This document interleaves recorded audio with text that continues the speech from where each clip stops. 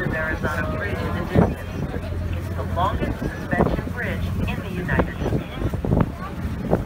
As the passenger ships continued north toward their docks in Manhattan, they also passed Governor's Island across the harbor to the east.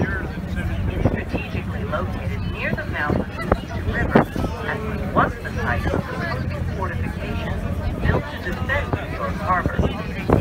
In 2001, it declared a national monument. The Statue of Liberty is part of the National Park System. We invite you to experience additional enjoyable activities offered by the National Park System, including outdoor guided tours. Please stop by the Visitor Information Center for today's schedule. An informative audio tour is included with your ticket and may be picked up when you arrive on each island. It includes a 30-minute Statue of Liberty audio tour and a 45-minute audio tour of the Ellis Island Museum. Travel here is very done at Liberty Island.